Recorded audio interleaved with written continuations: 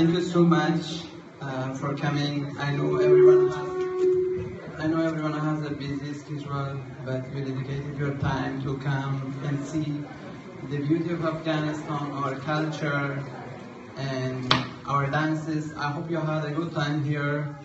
And actually, I wasn't ready. I was not supposed to give the speech, but since Mr. Ambassador uh, thanked me, I wanted to thank him. He has supported the Afghan Student Association so much. Before we did not have an association, but now with his support, we have created this, and he's working so much hard. Uh, not with the Student Association, but to represent Afghanistan very well in South Korea.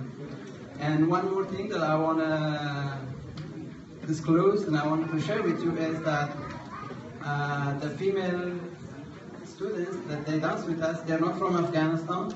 They're from different countries. They're from Peru. They're from Ecuador. Yeah. So I want to thank him because without him this wasn't impossible. And I want to thank all of you again for coming and have a good time. I hope you enjoy later the food. We also prepared different dishes from Afghanistan. I hope you enjoy the food and thank you once again. Thanks so much. Have a good time and yeah, thank you again. 네, 오